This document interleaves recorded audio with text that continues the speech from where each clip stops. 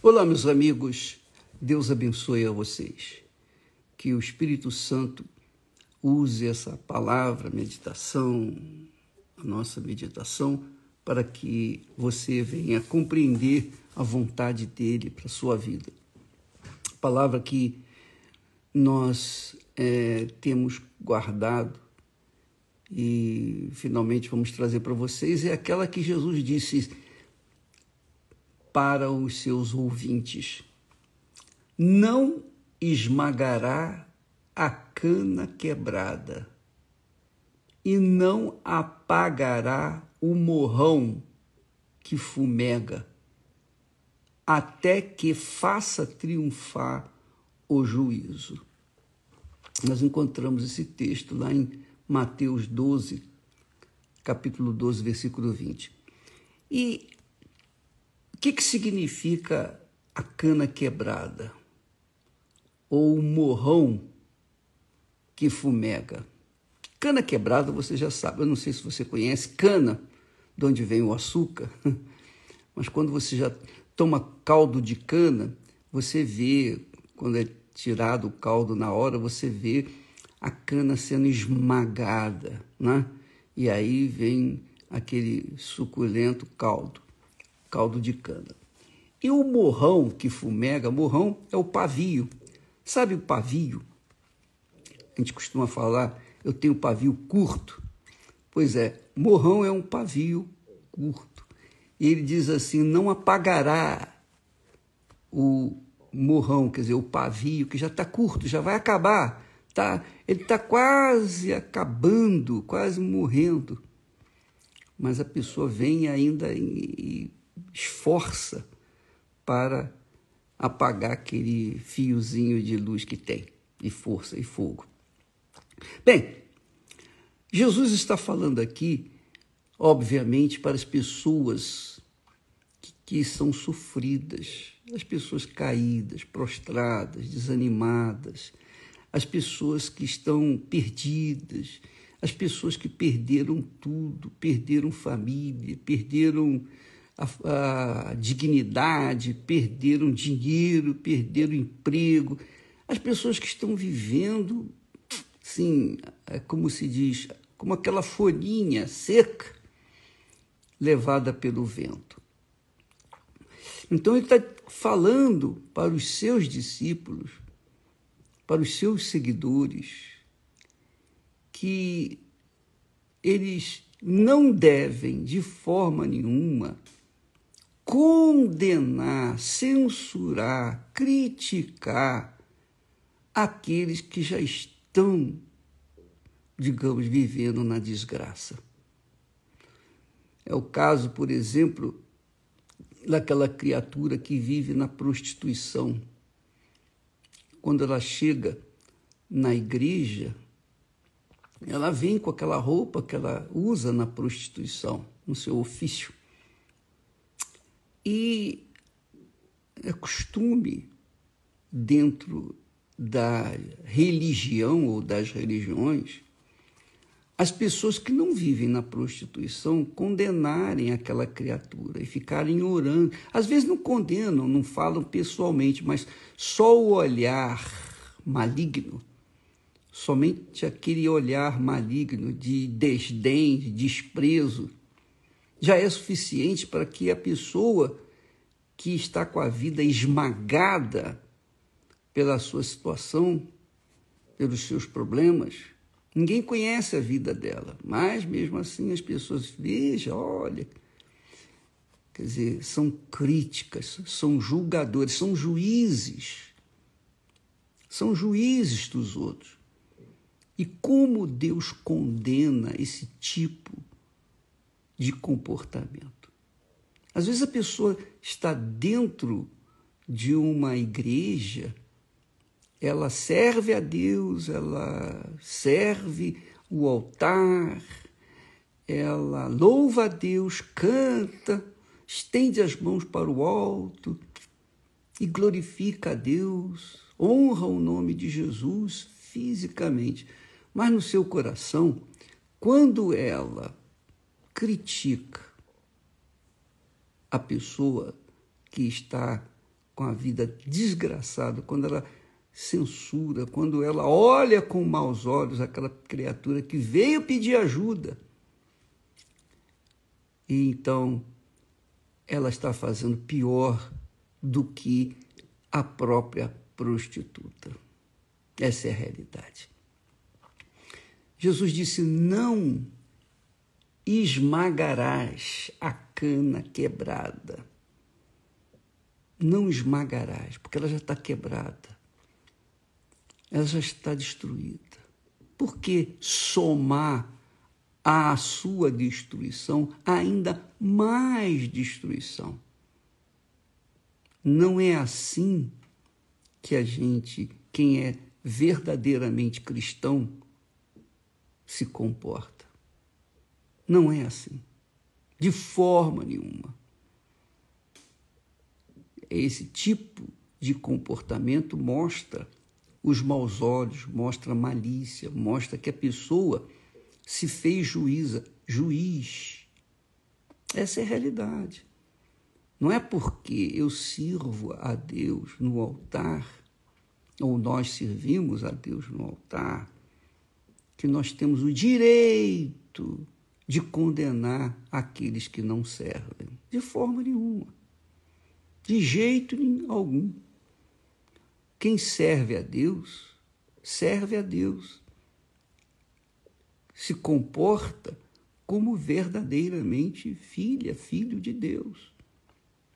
Que os verdadeiramente de Deus, eles estendem a mão para o aflito, estendem a mão para as canas quebradas. Aqueles que servem a Deus têm uma conduta diferenciada daqueles que não servem.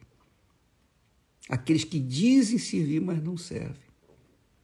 Então, você, amiga e amigo que está me assistindo nesse momento, talvez tenha sido uma pessoa condenada dentro da sua igreja, ainda que seja igreja universal, mas você tem sido condenada e então você, com vergonha, humilhada, você saiu, você deixou a casa de Deus, você deixou o, o, o pronto-socorro, onde você poderia e pode restaurar, restabelecer a sua saúde espiritual.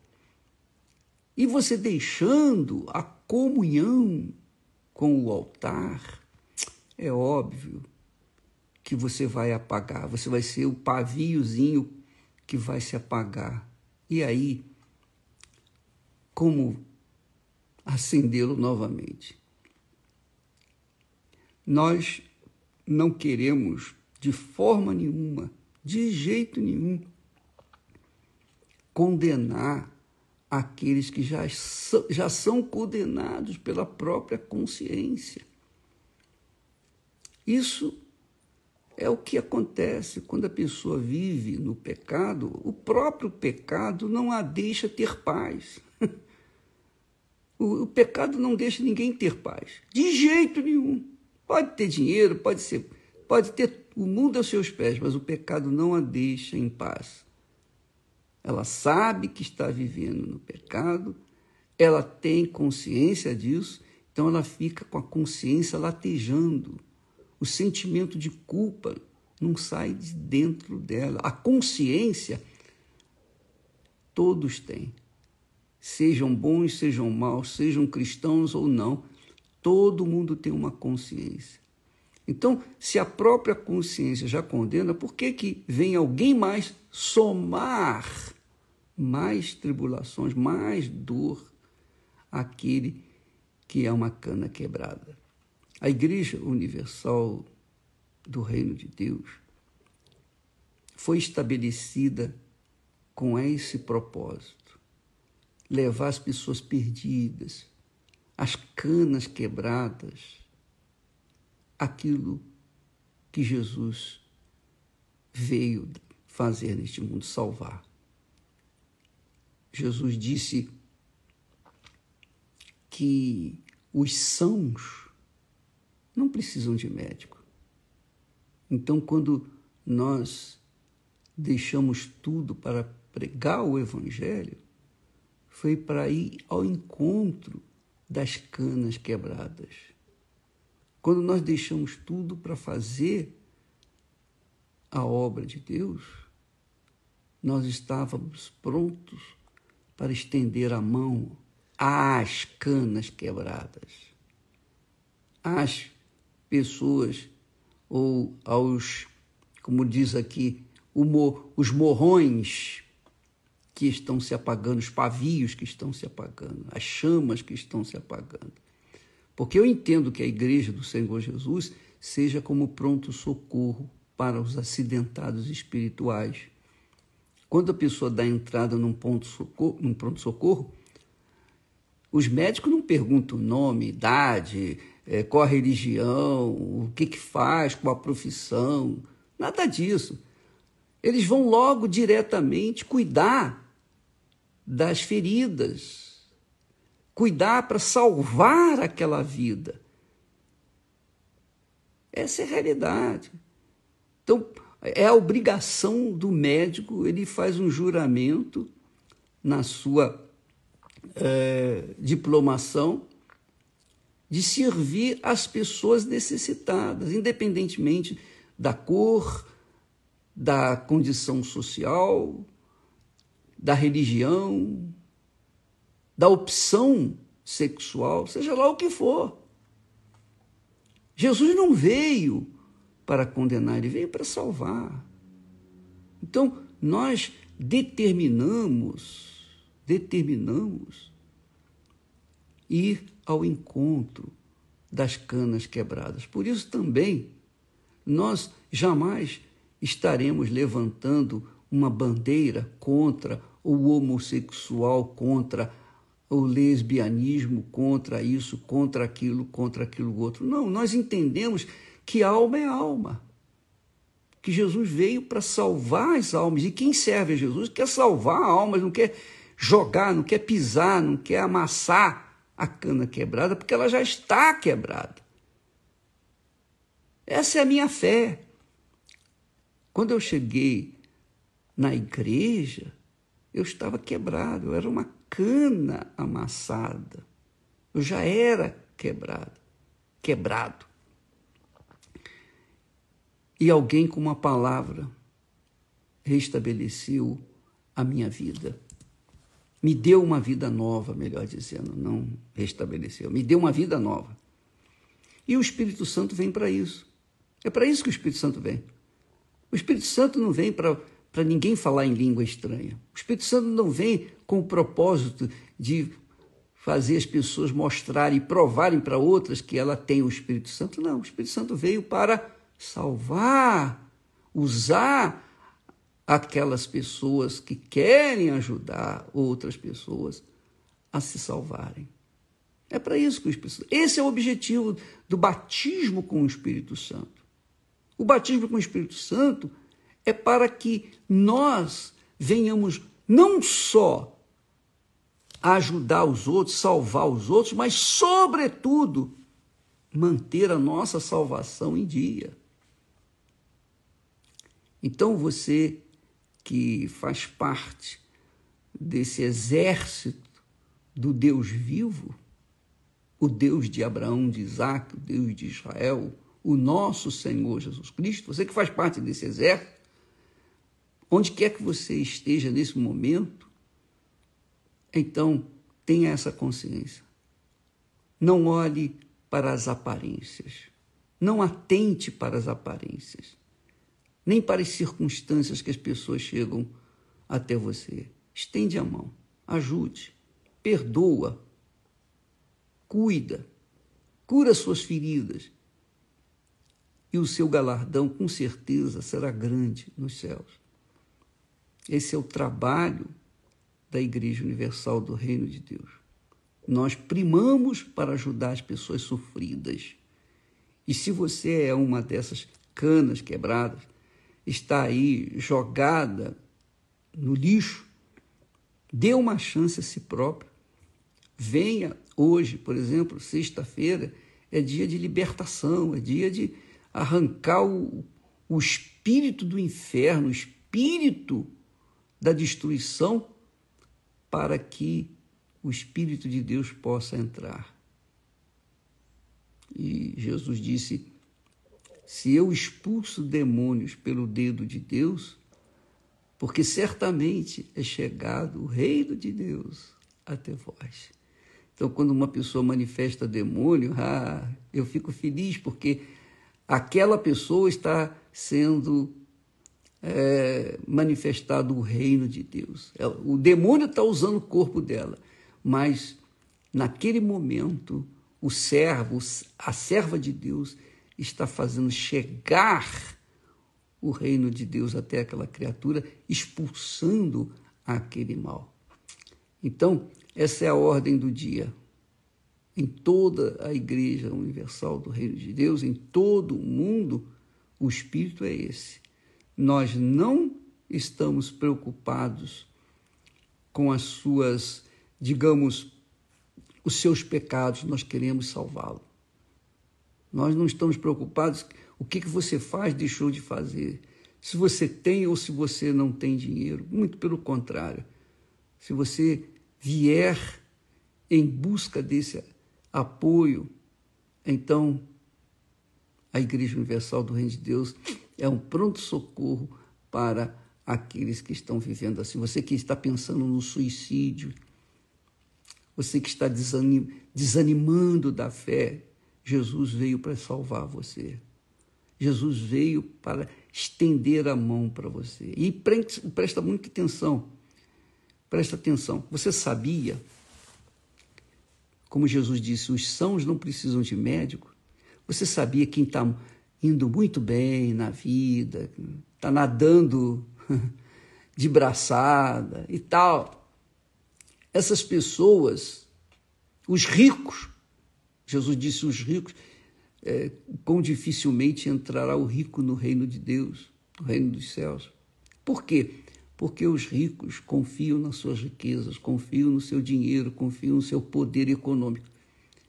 Então, não, não há chance deles serem salvos porque eles colocam a fé no dinheiro. Mas quando a pessoa chega, quando um rico chega desesperado com uma doença incurável, ele sabe que não tem sal, não tem cura, e que não há, todo o dinheiro dele não, não vai resolver, não tem tratamento para ele. E quando ele chega, por exemplo, em uma igreja universal, nós vamos tratá-lo como um pobre coitado, que precisa, que necessita de ajuda, que necessita de cuidados. Assim como o pobre, Deus permite problemas, doenças, enfermidades, ele permite acontecer isso, inclusive no meio do seu povo, para fazer com que o, teu, o seu povo venha entender a misericórdia de Deus, para que esse povo não venha cair no orgulho, na vaidade, na prepotência de que, ah, eu sou de Deus, então eu sou melhor. Não. Deus permite os problemas para que nós venhamos depender dele de forma humilde e então possamos ser salvos. A Bíblia fala que até quando uma pessoa morre prematuramente, é serva de Deus, que muitos não entendem, a Bíblia fala que Deus tira o justo, tira a vida do justo antes que o mal venha tirar a sua salvação. Essa é a realidade. Então, às vezes a pessoa não entende, poxa, mas é tão jovem, um homem de Deus. É, mas Deus tirou a vida dele para que ele não venha perder, porque Deus sabe o futuro. Então, antes que a pessoa perca aquilo que Deus lhe deu, então Deus tira a vida dela. Então, você está enfrentando problemas, dificuldades, Deus tem cuidado de você. Tudo coopera para o bem daqueles que amam a Deus. Sejam os problemas, tudo, tudo, tudo, seja lá o que for, a cana quebrada tem chance de ser restaurada pelo próprio Deus. Mas a cana que não é quebrada, que está boa, está numa boa, essa, o que, que Deus vai fazer? Mas a quebrada, ele diz: não piseis, não critiqueis, não amasseis, porque para elas, ou para ela é que eu vim. Eu não vim para os sãos, eu vim para os doentes. O Salmo 19 diz que é, foi-me bom ter passado pelos problemas, pela dor, para que pudesse conhecer os teus decretos. Então, foi assim que nós chegamos aos pés do nosso Senhor Jesus. E todos, ninguém chega ao Senhor Jesus numa boa. Não, as pessoas chegam a Ele todas quebradas, como canas quebradas. Graças a Deus por, um dia ter sido também a cana quebrada. E Deus restaurou, me deu uma vida nova. E Ele quer fazer isso com você. Não fica aí desanimado, não. Não, não fica querendo dar cabo à sua alma, não porque a sua vida, não porque a sua alma se está sofrendo agora se você se matar, a sua alma vai sofrer eternamente. Vai sofrer eterna. Aí é que você vai ver. Não tente ver. Não faça isso. Há jeito para você. Deus quer salvar. Deus quer fazer você ter uma vida nova. É o que ele tem feito em milhões de pessoas por esse mundo afora. Tá bom? Ficamos por aqui e amanhã estaremos de volta. Deus abençoe em nome do Senhor Jesus. Amém.